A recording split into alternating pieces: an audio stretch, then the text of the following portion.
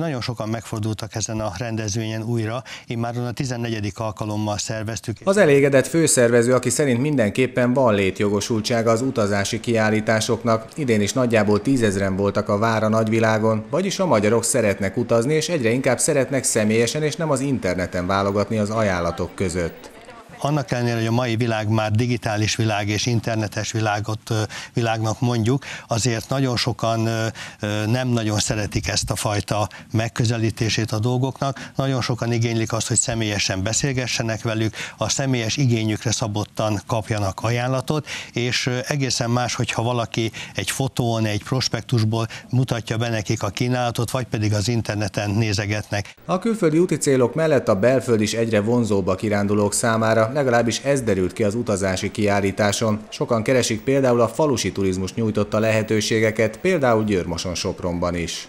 A Falusi Turizmus Egyesület is nagyon jó, hogy itt van rendszeresen. Ők általában ilyen kulináris kínálatokkal jönnek, és az ország másik részéből hoznak kiállítókat. Tehát az egész egyesület úgy működik, hogy ha mondjuk a győri rendezvényre, mondjuk például Heves és Békés megyéből jönnek ide a Falusi Turizmus Egyesület ottani tagjai, a győriek pedig mennek oda, tehát így egymást tudják bemutatni, és ez így nagyon jól működik az ő oldalukról, és így még színesebb lett a kínálatunk. Ha kíváncsiak rá, hogy milyen eredménnyel zárt az idei győri utazási kiállítás, és hogy melyek a legújabb turisztikai trendek, akkor semmiképpen nem ulasszák el a híradó után kezdődő konkrét című műsorunkat.